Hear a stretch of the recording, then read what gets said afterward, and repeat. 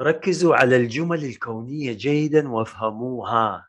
مثلا تقول الكون العظيم يغير ظروفي وتتفاعل القوى الكونية كلها من أجل أن تمنحني مليون دولار.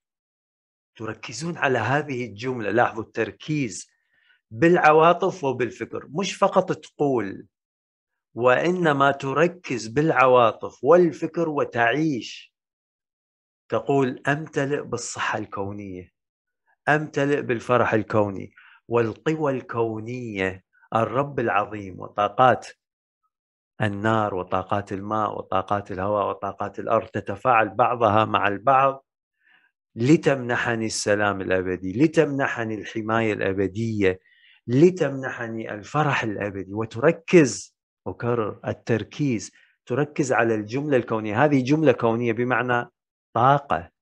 انت باني مع الكون إخواني وأخواتي. أنبهكم إنك إنك تركز تركزين على الجملة الكونية. وممكن أفضل أنك تكتبها تكتبها مرة مرتين ثلاثة أربعة تقرأها. تكتبها مرة مرتين ثلاثة تقرأها. وأفضل الأفضل تكتبها تقرأها وأمامك نار الشمعة. والأفضل أفضل أفضل أفضل تأتي بنار الشمعة وتأتي بالنجمة الخماسية وتكتب وتقرأ تصلي. تكتب تقرأ تصلي. تعلن. هو هذا الكون. هو هذا التغيير. هو هذا البناء. هو هذا الخلق. والأفضل أفضل أفضل إذا تأتي بموسيقى هادئة تنسجم معها وتنطلق إلى الأبدية. والأفضل أفضل أفضل نستمر تأتي بالبخور مثلا. هو هيك هذا هو العالم الحقيقي. من الغير المنظور؟ أنت تبني حياتك. لا تبني حياتك من إنك ولدت في تلك الدولة ويجب أن تنجز كذا ومشوار ينتظرك أو شخص تتذكر حوادث الماضي شخص قال لك كذا. تشعر بالحزن اترك هذا. هذا كله فبركه وهم.